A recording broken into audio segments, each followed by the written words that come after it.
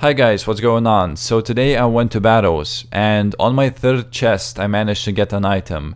Now the item wasn't actually too good. Actually it was one of the worst items you could possibly get from Barrows. Uh, but I was still happy. I was like, okay. So I got an Ahrim staff and I was like, okay, the staff should be at least 100k alch price. So that means it cannot go lower than that. Then I Google it, it's only 51k, and I was kind of sad at that point because I got a Barrows item, I was very happy, and then it's like, oh, it's 50k.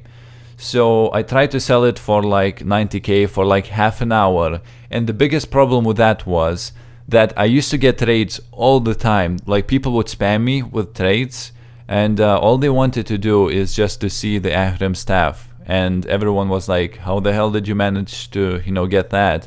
And that was the worst part thinking that you actually get real offers but in reality all they do is just see the staff and decline. And I just got fed up with that and I just sold it for 70k and Barrows are actually not too hard. If you have level 43 prayer then you can just pray through everything except from the Verac because it hits you through the prayer and yeah, that's it. As you can see in the video, I was using Earth Bolt, which is like level, I don't know, like 31 magic or something. So yeah, I guess apparently I don't need a Slayer Dart for that. And you get your money back all the time, because you get like Chaos Runes, lots of them, uh, Death Runes, you can just sell everything back and you will get your money back uh, for runes used and prayer potions used as well.